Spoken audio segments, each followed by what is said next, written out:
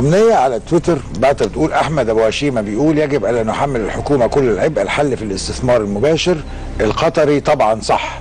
فالنهاردة أنت طبيعة الحال إن عندك علاقات بمستثمرين قطريين إن عندك شريك قطري. هو واحد تمام؟ ولا ولأنك وعندي شريك كويتي مثلا. ولانك ولانك في مجلس الأعمال المصري القطري. آه. فبطبيعة الحال تعرف ناس تانية.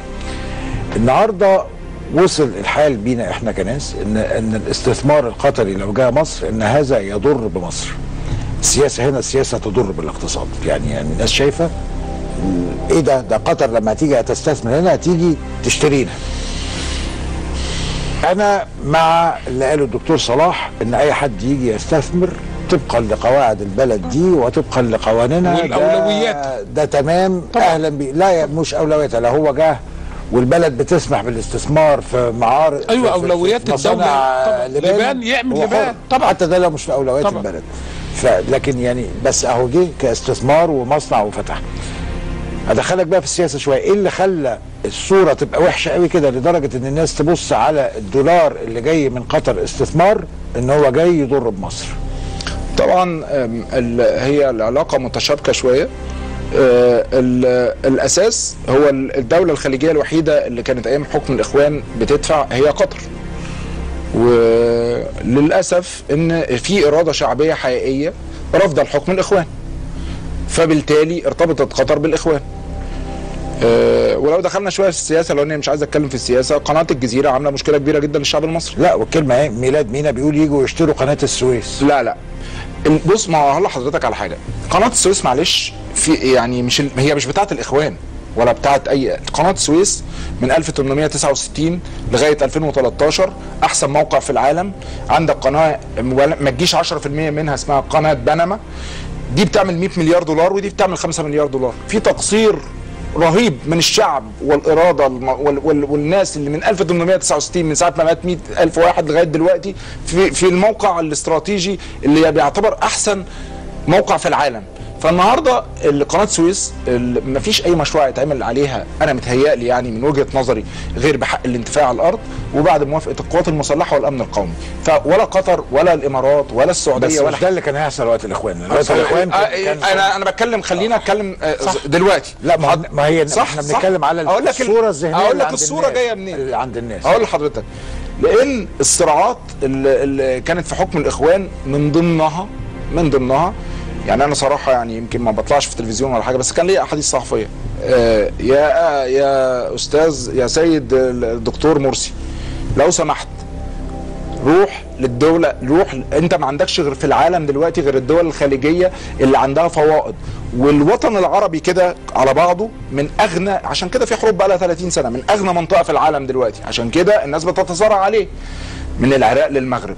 بس أنا مش هتكلم على العراق عندها مشاكل. أنا هتكلم على السعودية. والكويت والامارات.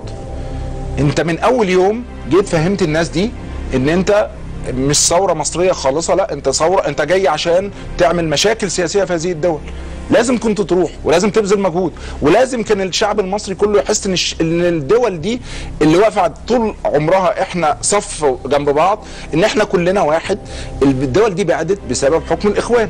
فالناس حصل لها ارتباط ذهني مع قطر والإخوان لأن قطر بتدفع فلوس في ظل أو بتستثمر أو عايزة تستثمر في ظل حكم الإخوان. مشروع قناة السويس اللي اتقدم اللي فيه تضارب رهيب وهو كان فيه ميزة واحدة بس إن قال لك الأرض بحق الانتفاع. دي هي الميزة. الوحيدة إنما هو لما تقراه ويمكن الدكتور صح فيه تضارب رهيب في القناه المشروع كنا, ده. كنا آه. هنا وقلنا الكلام ده آه، مش, مش تضارب هو الموضوع كان متخطي مرحله التضارب بكتير يا أستاذ. بس بس إحنا عندنا الحمد لله جيش وطني ما كانش هيسمح بحاجه صدقني.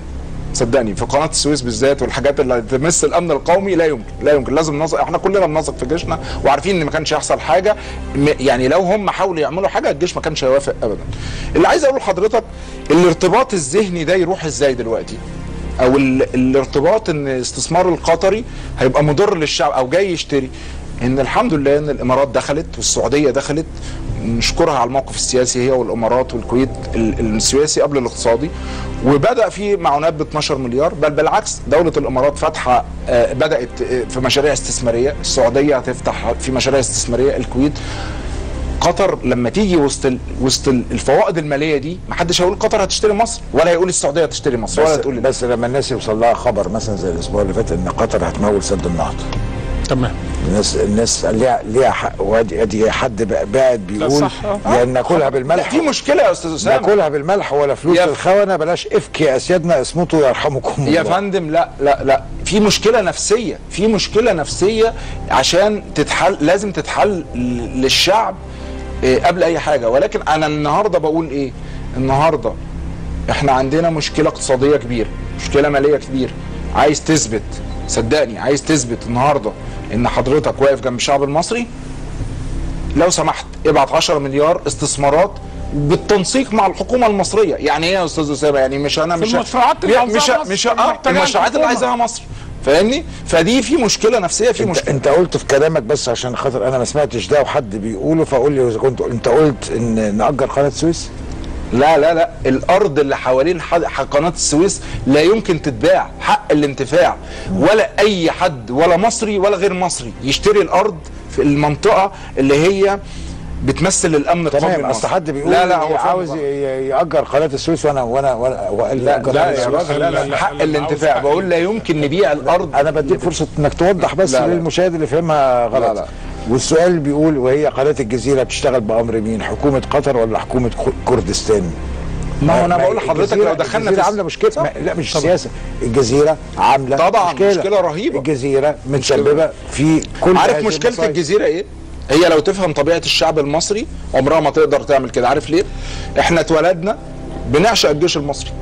اللي بتعمله الجزيرة آه، ضد الإرادة الشعبية وضد ال- الجيش المصري. فاحنا إحنا بالنسبة لنا الجيش شرفنا. يعني إحنا بنتولد كده يعني ما تفهمنيش إن الشعب المصري عشقه للجيش وهو يستاهل إن ده جاي من فراغ من قديم الأزل.